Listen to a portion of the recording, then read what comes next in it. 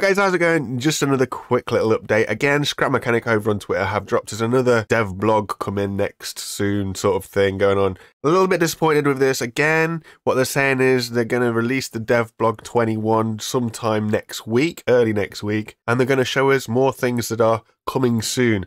Don't know about you guys, I'm getting a little bit tired of these guys telling us about all this stuff that's coming soon and nothing ever really appearing soon, so to speak, it still takes months and months and months. Bear in mind, this is yet again another dev blog where stuff is coming soon. And we're still waiting for a lot of the stuff that they teased us last time that was coming soon. They've given us a little sneaky peek of a little image here, and in my opinion, this kind of looks like an old robot from Robot Wars called Sergeant Bash. It just looks like a hydraulic cutter. It could be absolutely anything. Doesn't really tell us a lot, but yeah, another dev blog coming early next week with more coming soon things without actually delivering us anything to add to the game that is slowly dying.